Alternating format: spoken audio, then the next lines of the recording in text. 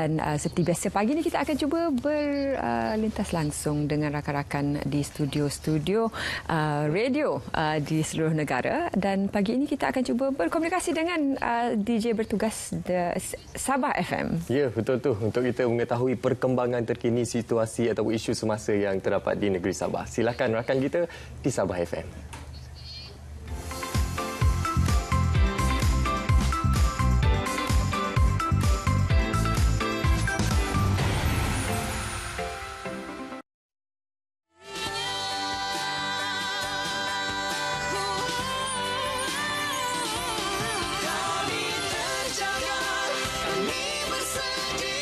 Kasih kepada anda terus bersama-sama dengan kami menerusi siaran Sabah FM pagi ini sudah pun 8.13 minit pagi bersama-sama dengan Saad dan juga Hafrina. Ya dan uh, selamat pagi Malaysia hari 7 Januari. Terima kasih buat Menawir dan juga Zaleha di Angkasa Puri. Yap, dan uh, sudah semestinya juga Afrina hmm. uh, untuk hari ini kita uh, boleh disaksikan secara langsung menerusi uh, RTM uh, Click uh, ya. juga menerusi uh, TV uh, 1 dan juga saluran My Review 1 2 3 Best RTM hmm. ataupun berita RTM ya. Dan uh, kami juga menggalakkan anda untuk terus klik like kepada fanpage rasmi kami uh, di akaun Facebook, Twitter dan juga Instagram dengan kata carian My Sabah FM. Mm-hmm. Uh, cantik dan juga kacak kita punya penyampai hari ini. Ya. Oh iya. Bukan kita dua tapi yang di yang Angkasa Puri. Tapi nanti kita tunggu balasan mereka pula pujian itu.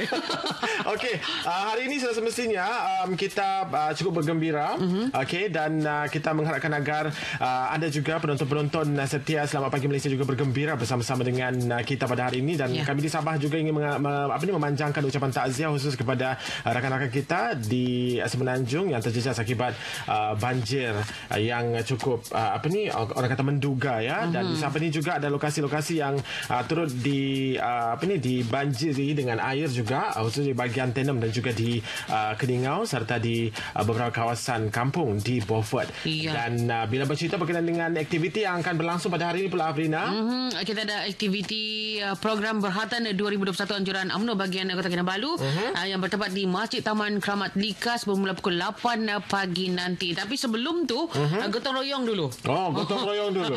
gotong royong dulu. Uh, selepas tu pukul 10 seperti biasa aktiviti siram peserta berkatan. Kenapa Wah. mesti disiram tu? Nah, tahu lah. Mungkin mungkin sebab untuk uh, memudahkan uh, uh, proses proses kan? berkatan uh, tu. Uh, ha. Saya dulu pun ada siram-siram tu.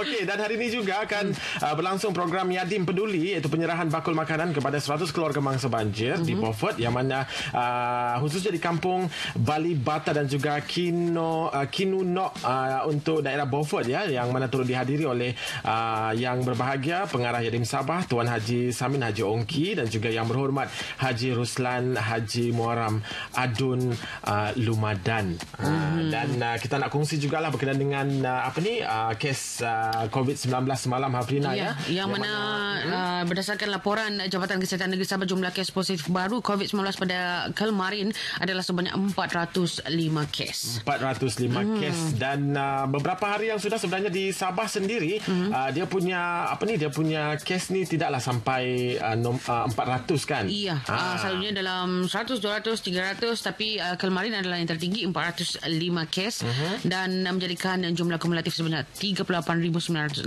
kes iya dan mm-hmm. ini merupakan sesuatu yang uh, cukup uh, apa ni uh, cukup orang kata uh, sedikit uh, mendebarkan juga kepada kita mm-hmm. tapi yang mhm. penting kita kena sentiasa uh, jaga dengan uh, apa tu uh, kita punya ni lah uh, kita jaga kita punya apa ni SOP dan uh, sebagainya ya. Mm-hmm. Uh, itu dia. Itulah uh, jangan uh, sekali kita leka lah uh, kadang-kadang lupa juga. Lupa juga uh. kan. Tapi itulah sudah uh, acap kali sudah sebenarnya disarankan kepada kita untuk sentiasa mengamalkan uh, 3W dan juga mm-hmm. elakkan 3S. Uh, uh. Jadi uh, orang bilang pada-pada ingatlah kan. Pada lupa juga. Pada lupa juga. Ah kadang-kadang pada lupa juga tapi uh, siapa yang ingat tu boleh tegur lah. Boleh tapi tegur dengan cara sopan. Ya, dan sudah seperti kami di Sabah FM juga akan sentiasa berkongsi kepada anda berkenaan dengan um, apa ni uh, orang kata update-update terkini mm-hmm. khususnya berkenaan dengan uh, pandemik COVID-19 yang berlaku di Sabah dengan merujuk kepada sumber uh, yang telah pun disediakan oleh kerajaan negeri Sabah ya. Mm-hmm. Dan uh, sekali lagi kita nak ucapkan terima kasih kepada semua yang sudi bersama-sama dengan kami pada hari ini. Iya. Sama menyaksikan kita secara langsung melalui fan uh, fanpage rasmi fan Sabah FM kami. di Facebook. Uh, dan uh, juga kepada anda teruskan bersama dengan kami di Sabah FM dan uh, kita kembali. kembali bersama dengan Munawir dan Zaleha di Angkasa Puri. Iya.